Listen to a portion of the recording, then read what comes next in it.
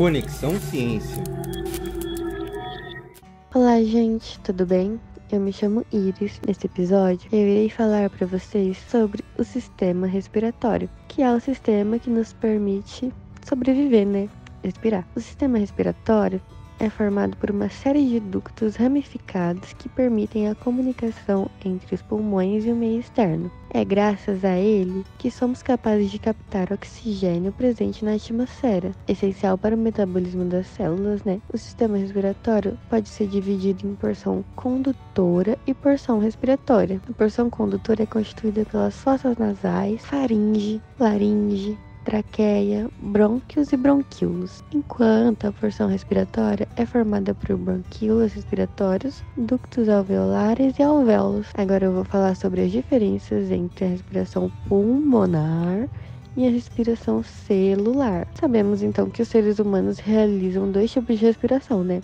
A pulmonar e a celular. A respiração celular diz respeito ao processo que acontece no interior das células humanas no qual é produzida a energia necessária para a realização de importantes atividades. Para a respiração celular é necessário oxigênio e ao final desse processo o gás carbônico é eliminado. O gás oxigênio necessário para a respiração celular é obtido por meio do sistema respiratório em um processo conhecido como respiração pulmonar. O gás carbônico produzido nessa atividade da célula é eliminado ali pelo mesmo sistema. A importância desse sistema respiratório nada mais é, né, que a respiração é um processo realizado pelo nosso sistema essencial, porque garante a captação do oxigênio presente na atmosfera e a disponibilização desse oxigênio para o organismo que é isso que a gente precisa para viver. Além disso, é por meio da respiração que eliminamos o gás carbônico presente no nosso corpo, o qual é resultado da atividade das células. O sistema respiratório humano é composto pelos seguintes órgãos, né?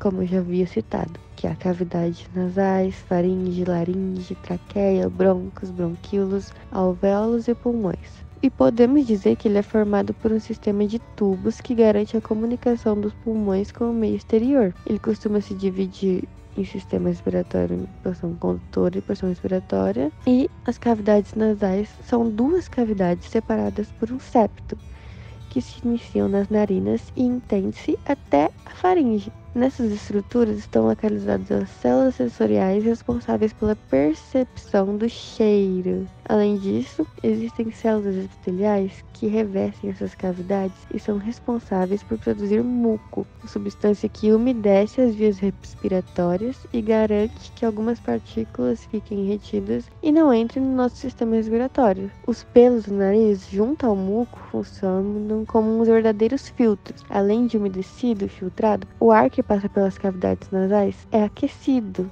para a gente poder respirar certinho, né? Após as cavidades nasais, encontramos a faringe, uma estrutura musculosa comum ao sistema digestório e respiratório. Logo após essa porção, observamos a laringe. É um tubo irregular que liga a faringe à traqueia. Essa região apresenta proeminência mais acentuada em homens, sabe? Aquele pomo de Adão. Na porção inicial da laringe, encontramos a epigote, uma estrutura cartilaginosa que funciona como uma válvula no momento da alimentação que impede que o alimento entre nas vias respiratórias. Nesse órgão também encontramos as pregas vocais, estruturas responsáveis pela nossa capacidade de comunicação por meio da fala. E aí, logo após a laringe, encontramos a traqueia, um tubo que apresenta de 9 a 12,5 centímetros de comprimento, localizada na altura da sexta vértebra cervical até a quinta torácica. Essa estrutura é formada por várias cartilagens hialinas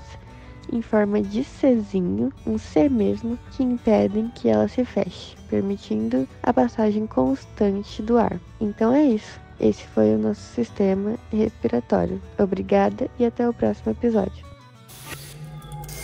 Conexão Ciência.